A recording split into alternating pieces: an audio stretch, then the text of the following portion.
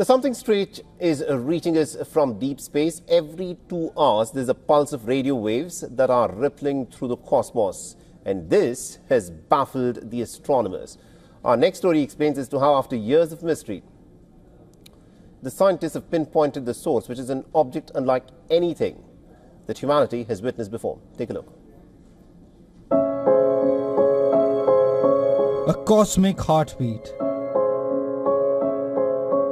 A signal from the void. A rhythm that defies explanation.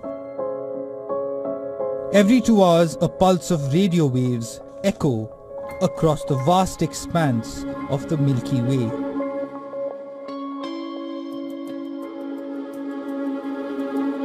It is a persistent and perplexing enigma. For a decade, scientists have been baffled by these mysterious signals. Many wonder if it is an alien signal from an unknown world. Now, the veil of mystery is lifting, revealing an unprecedented source. Armed with advanced telescopes and boundless curiosity, astronomers have traced these rhythmic pulses to a binary star system a celestial dance of two stars locked in a close embrace, approximately 1600 light years away.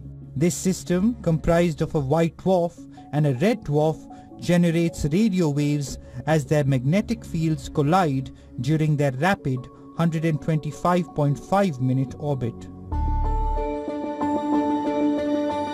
This is not a typical fast radio burst. The intense fleeting blasts that originate from magnetars, this signal is slower, more deliberate and a steady repeating pulse. The discovery published in the Nature journal challenges existing theories about the origins of long-period radio bursts.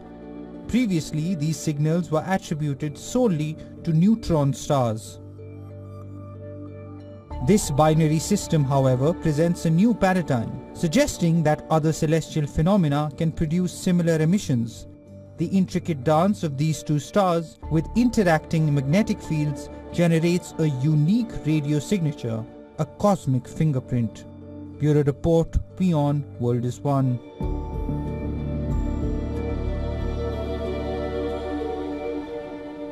For all the latest news, download the WION app and subscribe to our YouTube channel.